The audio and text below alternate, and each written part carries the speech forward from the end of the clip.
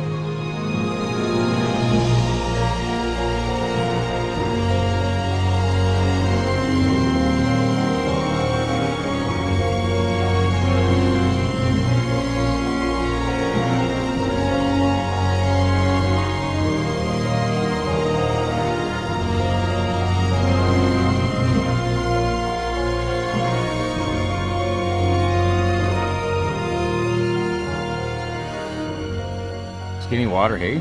Yeah, it really is skinny water right now. I think he's he's not leaving that shadow line much. He's just rising a few times in there and then He'll swing out, eh? Out of that foam line? Yeah, he's staying, you know, pretty much in the seam, but yeah, he'll only swing out maybe, you know, six inches left or right. And yeah, I mean, you know, if he sees something he wants, because we've seen him take a couple Oh, yeah. mayflies, right? So. What do you uh, You set up? Leader, well, tippet, flies? Yeah, basically right now I've got about a 13 foot leader and it's down to 4x on my top dry. I'm doing a double dry setup.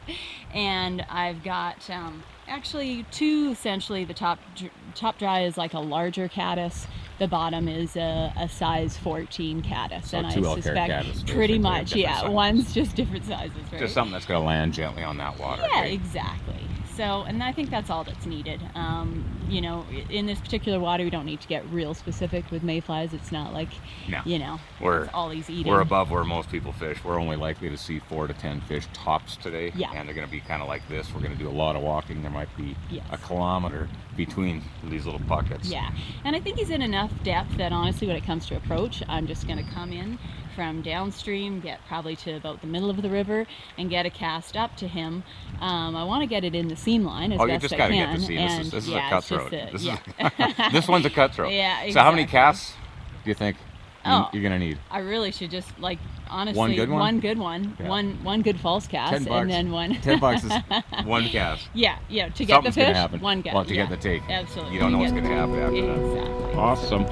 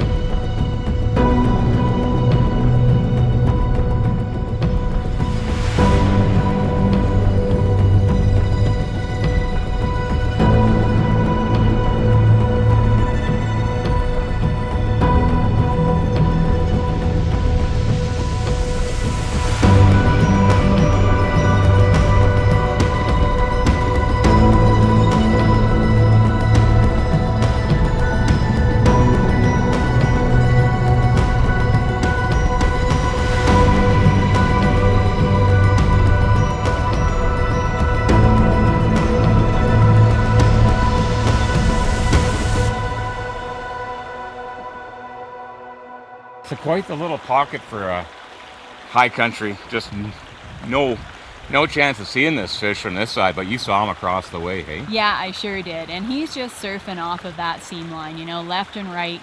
He's just going around in that pool. So I think a cast, you know, right up off that seam should do it. Yeah, how, how are you going to approach it? Well, you still got that 13 foot leader with the double caddis setup, two different sizes of caddis. You know what? 3x. Uh, again, we're up here. We're above where everybody fishes. There's so few fish up here. Uh, there's one one fish per excellent pocket, and this is the second excellent pocket. We might see 10 today. What I'm trying to say by that is, I just got to get behind it, place the caddis in front of his nose, and I bet you he comes off the bottom and eats it. Thanks. yeah, So exactly. I'm just gonna get behind him and let's just go see what happens. eh? Sounds great.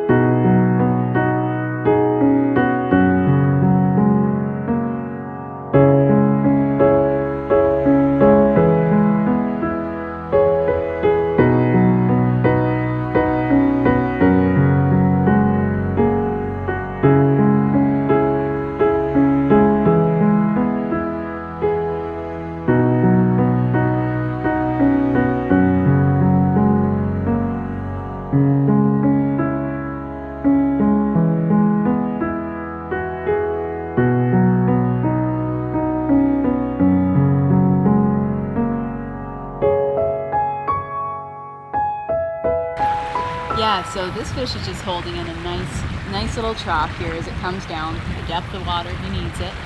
And I really think it's pretty simple. I should just be able to put my flies, you know, upstream of him a few feet and maybe a foot to his right because he is willing to come out into the sun to feed. We've seen him cycle around in there a couple times. So that's my plan.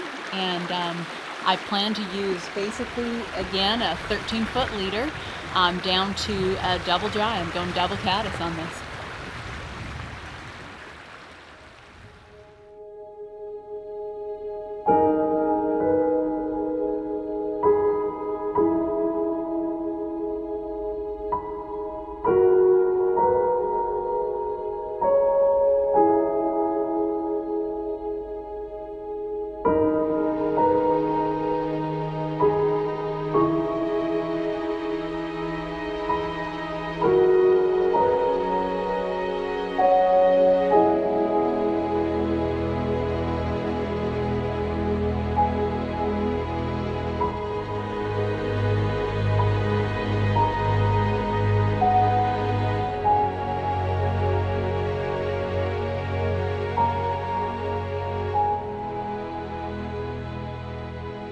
Call now is a five or six inch dropper to a little green nymph.